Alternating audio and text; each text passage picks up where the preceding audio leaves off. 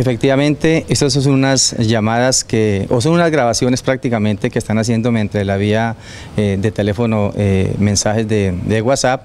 eh, mediante grabación de voz, la cuales en este momento estamos investigando para determinar el origen.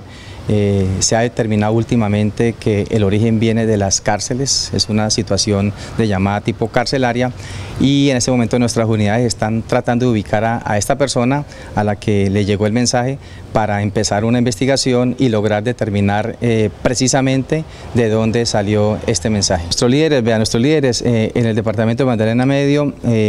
pueden estar tranquilos, nosotros activamos las rutas inmediatamente de atención, es un protocolo que, que se activa, nosotros hacemos reuniones con nuestros líderes sociales también. Tenemos nosotros una, una red de participación eh, con algunos de ellos y les invitamos a todos nuestros líderes del Magdalena Medio que por favor hagan parte de nuestra red de participación ciudadana y también asistan a las reuniones que nosotros convocamos para escucharlos, para atenderlos y para oportunamente eh, eh, y prevenir